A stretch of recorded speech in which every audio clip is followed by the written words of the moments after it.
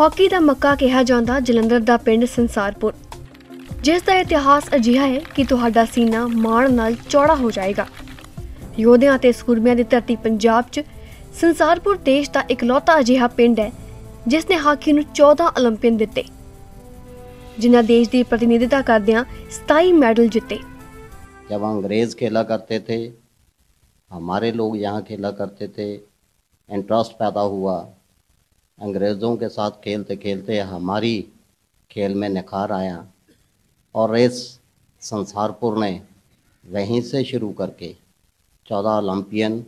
भारतवर्ष को दिए ਕਿਸੇ ਸਮੇਂ ਇਸ ਮੈਦਾਨ ਨੇ ਭਾਰਤੀ ਹਾਕੀ ਨੂੰ ਇੱਕ ਨਵੀਂ ਬੁਲੰਦੀ ਤੇ ਲੈ ਜਾਣ ਦਾ ਕੰਮ ਕੀਤਾ ਸੀ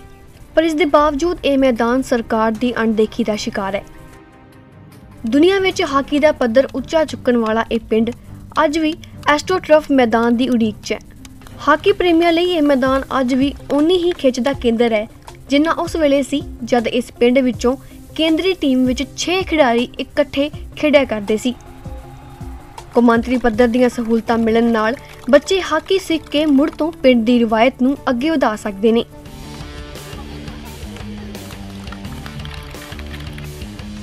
जहाँ जहाँ पर जिस ग्रास रूट्स पर अच्छे खिलाड़ी हैं वहाँ स्पोर्ट्स हब बढ़िया बनानी चाहिए जिस कोने में ये गांव है उसके साथ लगती हुई ग्राउंड्स जो हैं वो आर्मी लैंड है उस लैंड पे खेल के हमारे बच्चे अच्छे मुकाम तक पहुँचे हमारे गांव में एक अच्छी एस्ट्रोटफ होगी ताकि हम आने वाले समय में भी अच्छे प्लेयर यहाँ से पैदा कर सकें ਮੈਦਾਨ ਦੇ ਇਤਿਹਾਸਿਕ ਮਹੱਤਵ ਨੂੰ ਦੇਖਦਿਆਂ ਪੰਜਾਬ ਸਰਕਾਰ ਨੇ ਇੱਥੇ ਇੱਕ ਪੁਰਸ਼ ਅਤੇ ਇੱਕ ਮਹਿਲਾ ਕੋਚ ਦਾ ਬੰਦੋਬਸਤ ਕੀਤਾ ਹੈ ਇਸ ਤੋਂ ਇਲਾਵਾ ਬੱਚਿਆਂ ਨੂੰ ਬਾਕੀ ਮੁੱਢਲੀਆਂ ਸਹੂਲਤਾਂ ਵੀ ਦਿੱਤੀਆਂ ਜਾ ਰਹੀਆਂ ਨੇ ਜੇ ਅੱਜ ਕੋਈ ਬੱਚਾ ਇੱਥੇ ਆ ਰਿਹਾ ਤੇ ਸਿਰਫ ਇੱਕ ਪੁਰਾਣਾ ਜਿਹੜੀ ਹਿਸਟਰੀ ਹੈਗੀ ਉਹਨੂੰ ਦੇਖ ਕੇ ਹੀ ਬੱਚਾ ਆ ਰਿਹਾ ਉਹਨਾਂ ਨੂੰ ਉਹ ਮੋਟੀਵੇਟ ਹੁੰਦੇ ਆ ਕਿ ਨਹੀਂ ਵੀ ਕੋਈ ਇੱਕ ਟਾਈਮ ਸੀ ਜਿਸ ਟਾਈਮ ਇੱਕ ਟੀਮ ਦੇ ਵਿੱਚ 6 6 7 7 올림픽 ਜਿਹੜੇ ਸੰਸਾਰਪੁਰ ਦੇ ਖੇਡਦੇ ਸਾਨੂੰ ਸਰਕਾਰ ਨੇ ਚਲੋ ਐਸੋ ਟਰਫ ਦਿੱਤੀ ਹੋਈ ਹੈ ਛੋਟੀ ਉਹਦੇ ਵਿੱਚ ਸਾਡੇ ਕੋਲ ਬੱਚਾ ਬਹੁਤ ਹੈ ਇਸ ਟਾਈਮ 70 80 ਦੇ ਕਰੀਬ ਬੱਚਾ ਆ ਕਿ ਦੋ ਜਾਂ ਤਿੰਨ ਵਾਰੀ ਇਹ ਐਸੋ ਟਰਫ ਸਾਨੂੰ ਮਿਲੀ ਵੀ ਹੈ ਸੰਸਾਰਪੁਰ ਨੂੰ ਪਰ ਜ਼ਮੀਨ ਦੀ ਕਮੀ ਕਰਕੇ ਜਿੱਦਾਂ ਉਹ ਰਿਕੁਆਇਰਮੈਂਟ ਨਹੀਂ ਪੂਰੀ ਹੋ ਸਕੀ ਅੱਜ ਇਸ ਮੈਦਾਨ ਵਿੱਚ ਦੇਸ਼ ਦਾ ਨਾਮ ਰੌਸ਼ਨ ਕਰਨ ਦੀ ਚਾਹਤ ਮਨ 'ਚ ਰੱਖ ਕੇ ਕਰੀਬ 60 ਤੋਂ 70 ਬੱਚੇ ਹਾਕੀ ਦੀ ਪ੍ਰੈਕਟਿਸ ਕਰਨ ਆਉਂਦੇ ਨੇ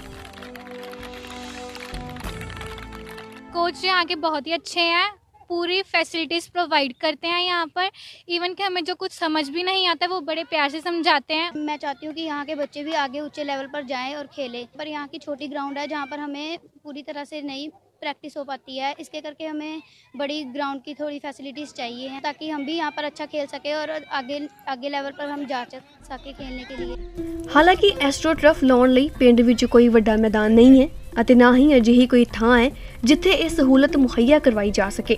ਇਸ ਦੇ ਬਾਵਜੂਦ ਇਸ ਇਤਿਹਾਸਿਕ ਮੈਦਾਨ ਤੇ ਹਾਕੀ ਖੇਡਣਾ ਅਤੇ ਸਿੱਖਣਾ ਬੱਚਿਆਂ ਲਈ ਬਹੁਤ ਹੀ ਮਾਣ ਦੀ ਗੱਲ ਹੈ bureau report ETV Bharat To watch 24 into 7 News Live, download ETV Bharat app.